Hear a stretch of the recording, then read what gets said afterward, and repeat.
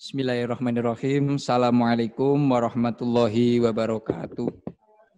Waalaikumsalam warahmatullahi wabarakatuh. Alhamdulillahi wa kafa. Wassalatu wassalamu ala sayyidina wa maulana Muhammadin nabil mustafa wa ala alihi wa ashabihi ahli sidqi wal wafa amma ba'd.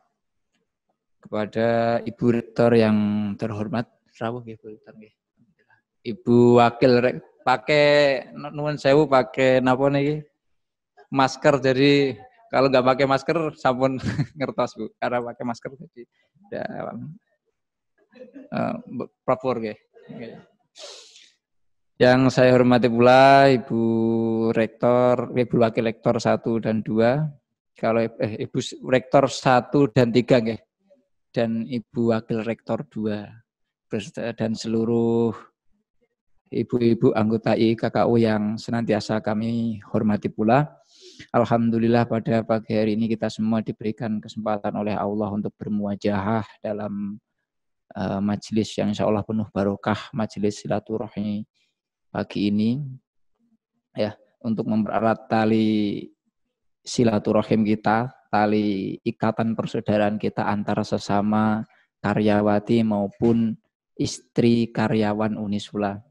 Semoga silaturahim ini senantiasa terjalin dan bisa mempererat kerukunan antar uh, istri karyawan dosen maupun karyawati Unisula. Amin Allahumma amin. Ibu-ibu sekalian, eh, tadi malam saya tanya ke Bu Susi apa temanya untuk besok. Kak, beliau menyampaikan bahwa tentang Quran. Baik, Berbicara tentang Quran, ini memang satu hal yang sangat luar biasa sekali. Ya. Quran itu selain mukjizat juga menunjukkan betapa adilnya Allah Subhanahu wa taala. Karena Al-Quran ini sebelum diwahyukan kepada umat manusia, pernah ditawarkan kepada seluruh makhluk Allah. Namun semuanya tidak ada yang berani membawa beban Al-Quran dan hanya manusia yang membawanya. Namun ya Hal itu dikarenakan karena Al-Quran itu merupakan satu amanah yang luar biasa. Sehingga fadilah ataupun e, pahalanya pun luar biasa sekali. Dikatakan ya, oleh disampaikan oleh Abu Hurairah bahwa Innal baita alladhi yutsla fil Qur'an itasa'a bi ahlihi wa kathura khairihi wa hadarajul malaikatu wa kharajat minhumus syayatin.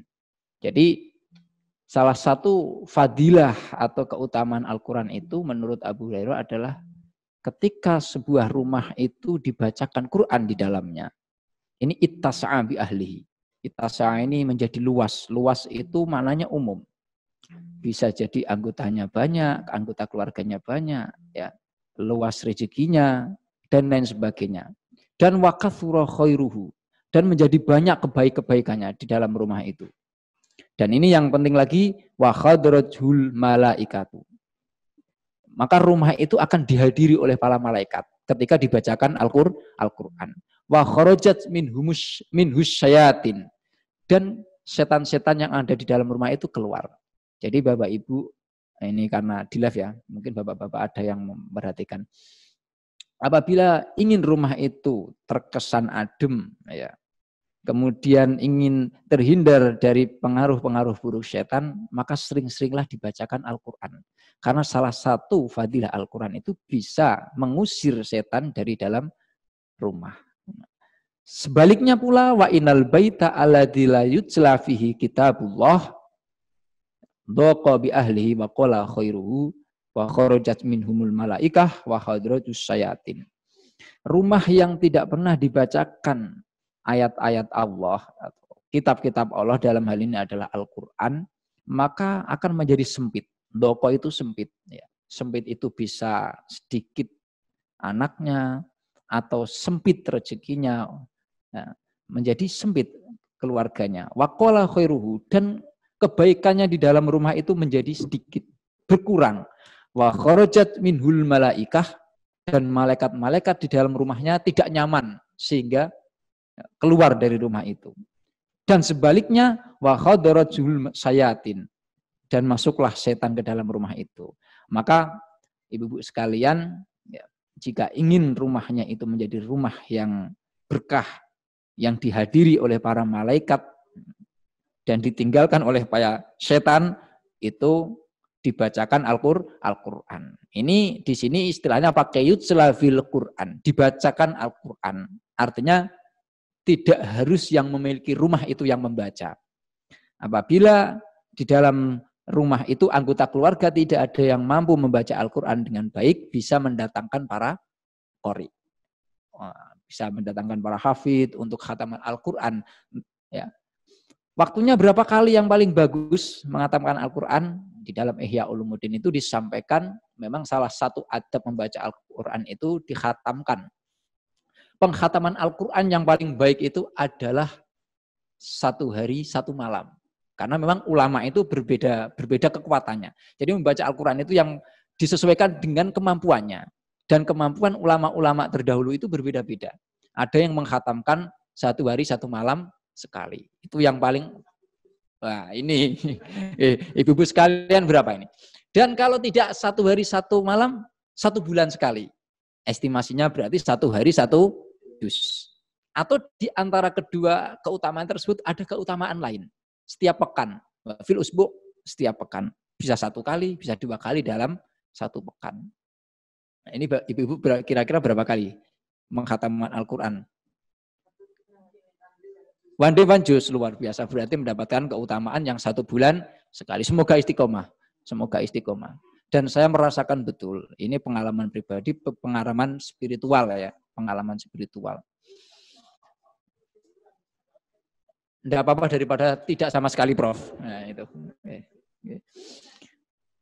Ya, waktu saya pertama kali diminta waktu itu Ustaz Agus Irfan deh yang dan Pak Zainuddin tinggal di asrama. Saya diminta membantu uh, program di situ dan diminta pula untuk tinggal di asrama itu yang sekarang menjadi pesantren. Ya, dari beberapa teman-teman sivitas ini ada yang menceritakan pengalaman-pengalaman spiritual yang tidak mengenakan ada apa ya gangguan seperti ini seperti ini. Tapi saya mempunyai prinsip memang rumah itu kalau sering dibacakan Al-Quran itu insya Allah akan ada. Dan Alhamdulillah selama saya tinggal di situ empat tahun, itu saya tidak pernah ya, mengalami kejadian-kejadian yang aneh-aneh atau yang seperti diceritakan oleh teman-teman itu. Sama sekali tidak ada. Tapi prinsip saya memang saya tidak tidak sampai satu bulan khatam ya, tidak tidak kuat. Tapi saya mencoba untuk istiqomah. Ya. Waktu itu sehari itu minimal seperempat jus. Jadi setiap hari eh, se, se empat hari satu jus sehingga empat bulan khatam itu. Karena karena prinsip saya itu istiqomah. Nah, Imam Ghazali itu pernah menyampaikan la khaira fi khairin layadum. Bal syarun layadum khairun min khairin layadum. Jadi kebaikan, tidak ada kebaikan di dalam suatu amal baik yang tidak diistiqomahkan. Justru keburukan yang tidak diistiqomahkan atau berhenti dari keburukan itu lebih baik daripada kebaikan yang tidak berkelanjutan atau tidak istiqomah. Maka ada satu uh, hadis yang mengatakan apa? Istiqomah khairumin alfi karomah. Istiqomah itu lebih baik istiqomah khairum min alfi karomah. Istiqomah itu jauh lebih baik dibandingkan dengan seribu karomah. Karomah itu apa? Karomah itu adalah ya, kelebihan yang dimiliki oleh waliullah atau kekasih Allah yang tidak dimiliki oleh manusia pada umumnya. Nah, khorikul adah, sesuatu yang nulayani adat kalau bahasa Jawanya itu. Ya. Kenapa istiqomah itu menjadi memiliki kelebihan lebih dari seribu karomah. Jadi begini, amal ibadah yang diterima oleh Allah itu kan amal ibadah yang ikhlas. Amal ibadah yang ikhlas. Sedangkan untuk mencapai keikhlasan itu bukanlah hal yang mudah. Dalam mencapai sebuah keikhlasan itu perlu adanya pembiasaan. Maka ada sebuah cerita ya seorang santri itu melihat putra kia, putri kiainya itu cantik sekali. Sehingga dia tertarik untuk memilikinya. Tapi dengan sadar diri bahwa itu adalah putra seorang kiai dan dia ya, minder ya, cara bahasanya minder. Tapi dia tetap berusaha, paling tidak bisa melihatnya setiap hari. Akhirnya santri ini ya cukup cerdas. Dia berpura-pura menjadi penjual air. Ya, waktu dulu ya, itu kan air itu ya tidak mudah untuk mendapatkan air, apalagi di tanah Arab. Ya, nah yang tandus seperti itu. Maka ini bekerja menjual air kepada kiai tersebut, mengambilkan air setiap hari, ya, mengambilkan air setiap hari sehingga dengan cara seperti itu dia bisa melihat si Neng atau putranya kiai tersebut setiap hari. Ya, paling ya malah kadang agak agak dapat bonus juga pas ngisi sekolah itu melihat uh, putri, putri kiainya sedang mau mandi begitu misalkan. Jadi alasannya dia menjual air kepada sang kiai adalah biar supaya bisa sering-sering melihat putri kiai tersebut. Sampai pada akhirnya karena kiainya ini kiai yang sangat alim, maka dipanggillah santri itu. Nang ke sini nang. Dia panggil, saya itu sudah tahu bahwa sebenarnya kamu adalah santri yang berpura-pura menjual air supaya melihat anak saya. Ya, ditanya seperti itu. Kalau kamu ingin mendapatkan anak saya gampang, tidak usah berpura-pura seperti itu. Apa syaratnya?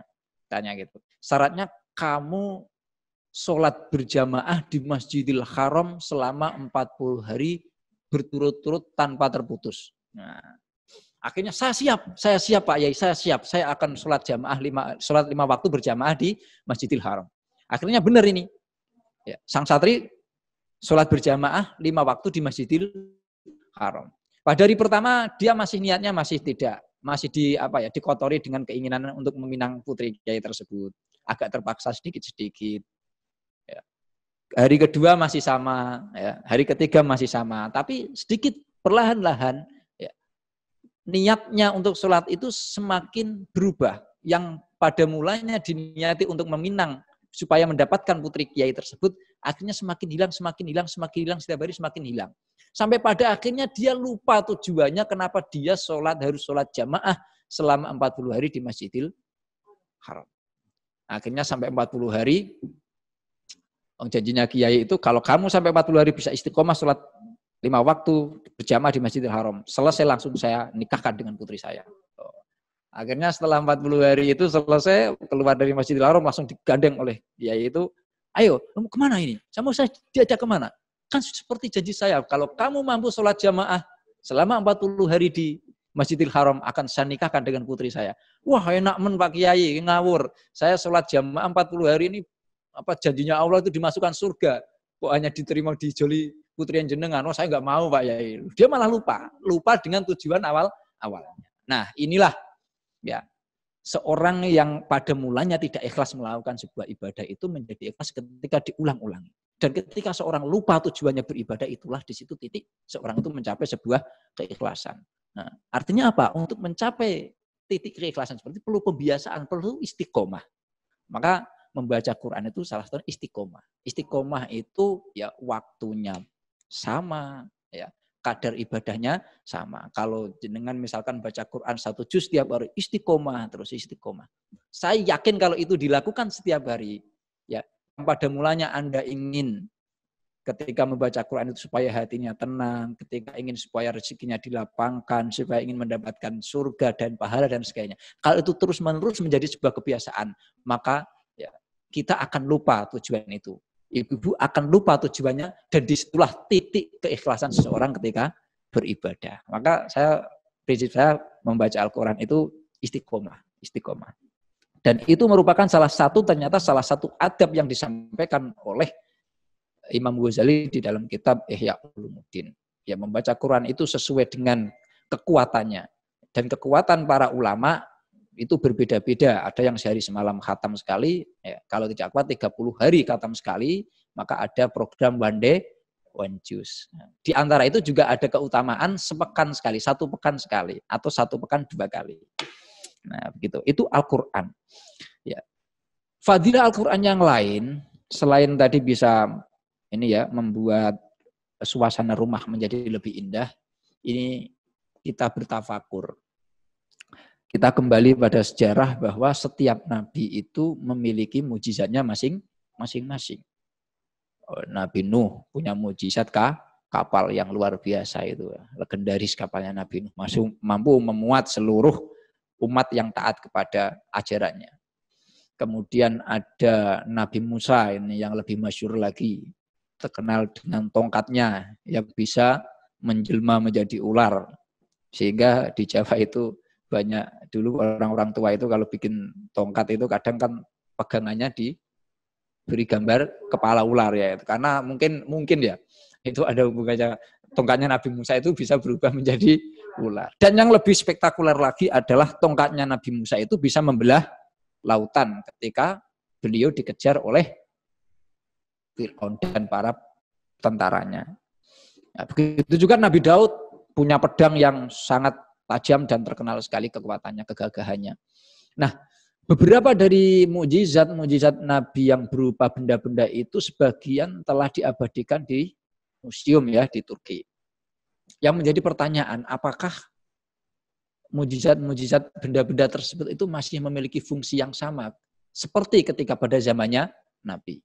Kira-kira nek tongkatnya Nabi Musa ini jenengan ambil, jenengan simpen, terus setiap kali berangkat ke Unisula itu dibawa nanti kalau ada rob di kali gawe terus dipukul rob hilang atau membelah begini itu kira-kira bisa atau tidak itu? Kalau bisa ya kalau macet dibelah mobilnya kemudian menyingkir sendiri-sendiri atau bagaimana. Saya yakin itu ya tidak mungkin bisa kalau itu yang megang kula panjenengan. Karena beda beda empunya beda Ya, begitu juga pedangnya Nabi Daud, apakah sampai sekarang masih tajam dulu? Apalagi kapalnya Nabi Nuh yang sudah tidak ada.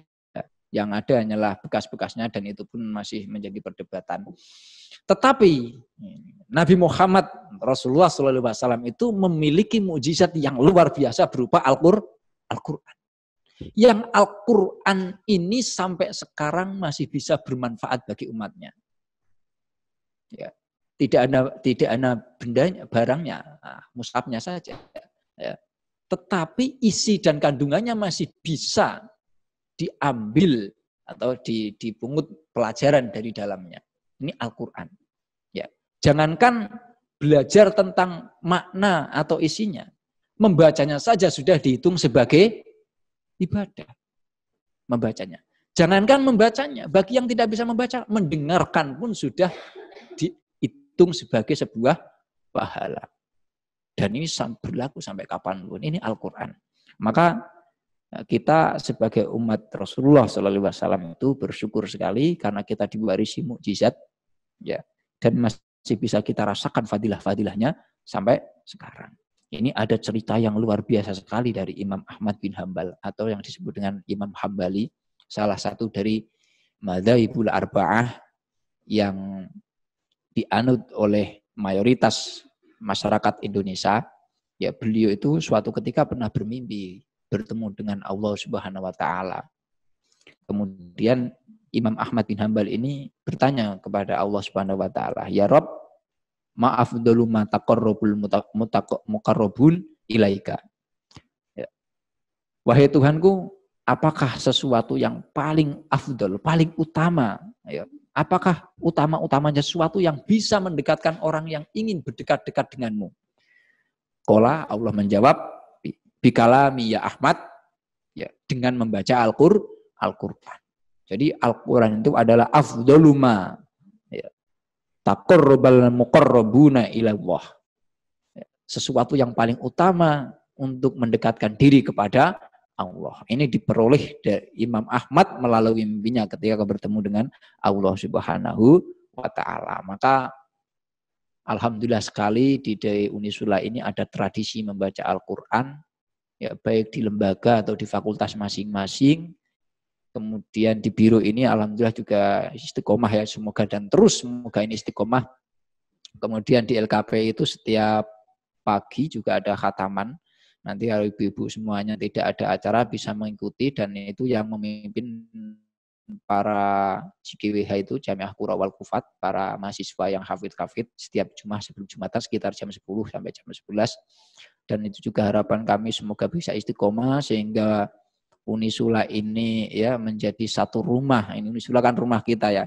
Bait ya yang hadrajul malaikah yang di dalamnya dihadiri oleh ribu-ribu malaikat ya, wa wa kharajat minhus saya syayatin dan setan-setan ya tidak betah di dalam unisula sehingga sivitasnya itu steril dari pengaruh-pengaruh setan ya sehingga semuanya bisa beramal baik dengan mudah. Amin Allahumma amin. Sudah berapa menit saya tidak saya hitungin. Sampai jam berapa, Bu? Sampai jam 11. Wah, Bu, Bu Made ini menghukum ini. Ya, saya, saya lanjut sedikit ini tentang adab membaca Al-Qur'an karena kita semuanya terutama ibu-ibu ya, kakak ini kan uh, rutin ya. Uh, setiap agenda ada baca Al-Qur'an, maka yang perlu saya sampaikan adalah adab membaca Al-Qur'an. Yang pertama, ya, saya kutip juga dari Ihya Ulumuddin yang disampaikan oleh Imam Al-Ghazali. Ah, ada 10 adab itu, tapi ini sebagian saya sampaikan. Yang pertama adalah kondisi pembaca. Jadi ketika membaca Al-Quran itu, ya, seorang kori harus memperhatikan kondisinya. Kondisi yang bagaimana? Ya, yang dianggap beradab ketika membaca Al-Quran, yang paling utama adalah berwudu. Ya, berwudu. Jadi kalau mau membaca Al-Quran itu berwudu. Kemudian yang kedua tenang, tidak mundar mandir. Misalkan baca Al-Quran, ditinggal ke sana kemari, tinggal ke sana kemari. Yang baik itu adalah tenang, anteng. Ya.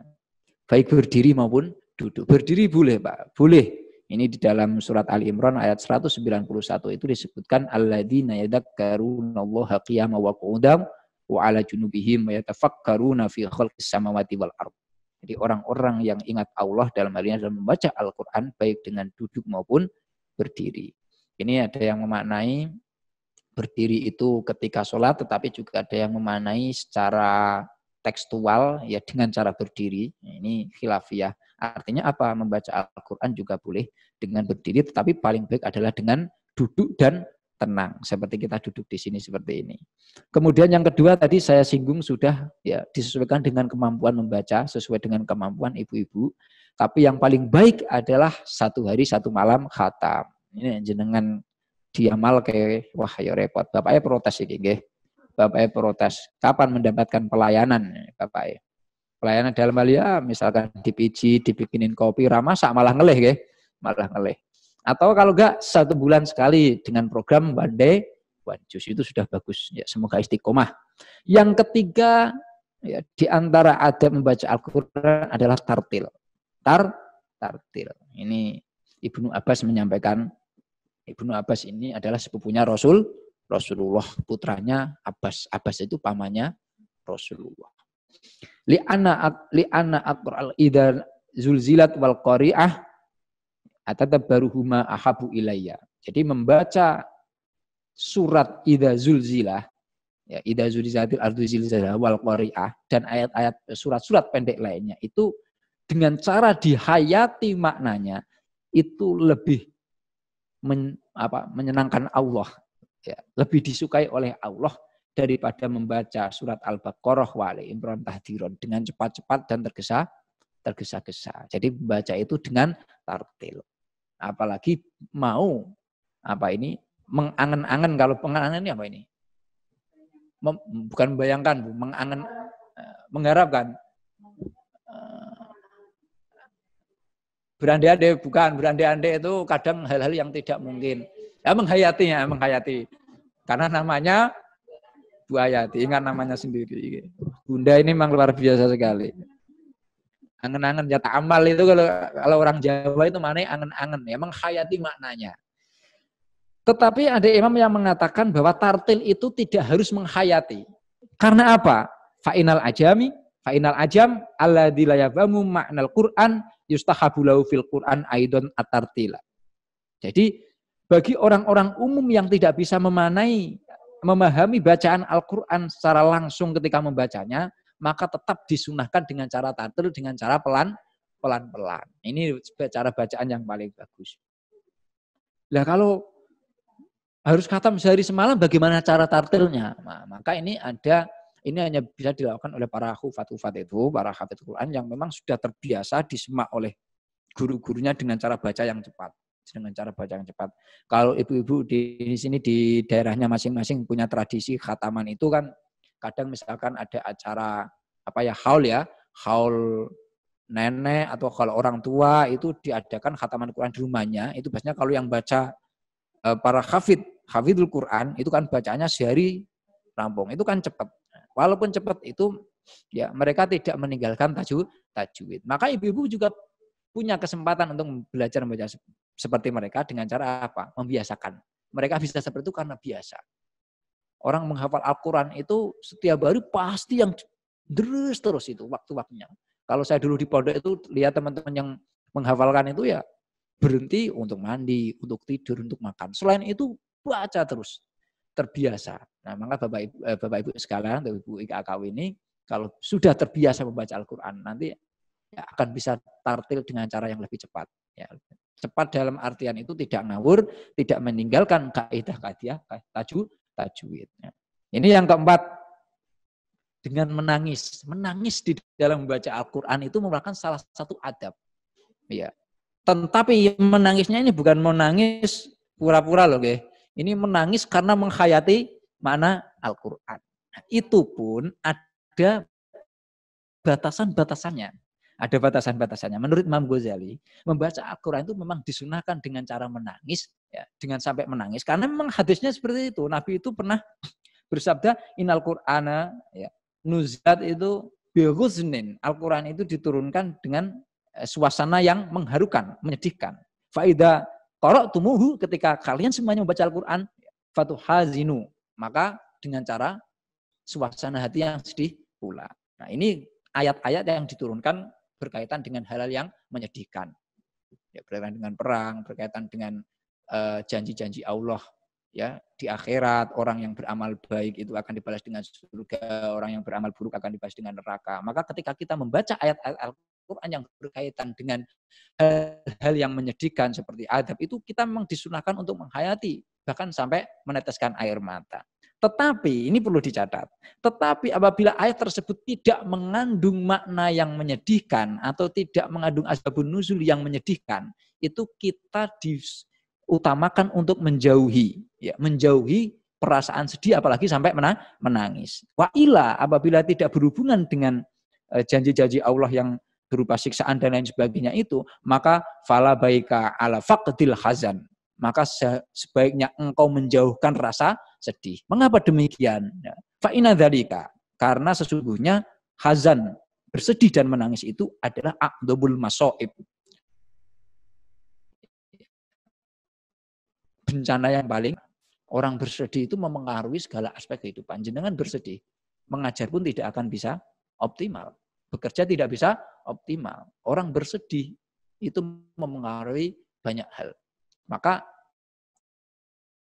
terkadang eh, mohon maaf ya di rumah mungkin suasana keluarganya sedang menyedihkan baik itu karena ada musibah atau karena ada pertengkaran itu di hati ketika sedih. Kita datang ke kampus itu bekerja tidak bisa optimal. Kesedihan itu akan terus membayangi seseorang. Maka dikatakan di sini fa'inal dzalika fa'inal hazana wal bukaa itu adalah aqdamul masoib ya bencana yang paling besar. Maka membaca Al-Qur'an disunahkan dengan menangis apabila ada kaitannya dengan hal-hal yang menyedihkan atau sejarah-sejarah yang menyedihkan terkait asbabun nuzulnya. Apabila tidak ada sejarah atau asbab nuzul yang berkaitan dengan hal-hal yang menyedihkan ayat atau ayat itu tidak mengandung hal-hal yang menakutkan maka seseorang itu di saat bersedih maupun apalagi sampai menangis. Yang selanjutnya adab membaca Al-Qur'an adalah diawali dengan ta'awud. A'udzubillahi minasyaitonir Dan diakhiri ketika selesai membaca Al-Qur'an diakhiri dengan doa. Salah satunya apa? Sodaqallahul adim dan di, di, diakhiri dengan sodaqallahul adim wa balaghur rasuluhul ka, karim. Dan membaca doa Allahumma arhamni itu kalau di Ihya itu. Allahumma arhamni bil Quran. Itu biasanya di di akhir Al-Qur'an itu ditulis ya di bawah surat Anas atau apa itu kan. Allahumma arhamna bil Quran apabila berjamaah. Bacanya itu itu salah satu adab salah satu adab seseorang membaca Al-Quran ketika selesai membaca apa doa sodakul terus dilanjut doa Allahumma arhamni.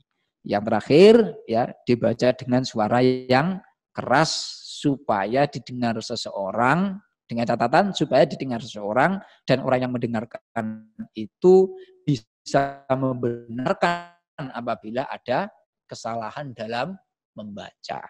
Gitu. Bukan dikeraskan itu untuk dipamer, dipamerkan. Karena fadlu qiraatis siri ala qiraatil alaniyah kafadli sodaqatis siri ala sodaqatil alaniyah.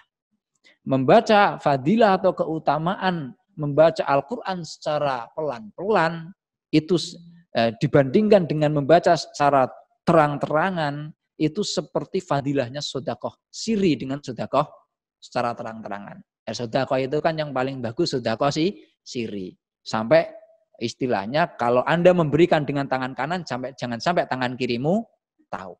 Itu sodakoh siri.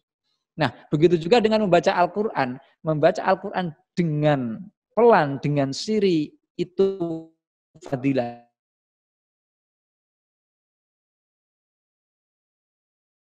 hanya seperti fadilah ini ketika memang Anda sudah yakin bahwa bacaan Anda itu ya insya Allah benar selama membaca. Tapi kalau Anda masih merasa bahwa kadang membaca Al-Quran itu banyak terjadi kesalahan, maka diperkeras saja, syukur-syukur diperdengarkan kepada seorang guru. Sehingga ketika ada bacaan yang salah, ada yang mengingatkan.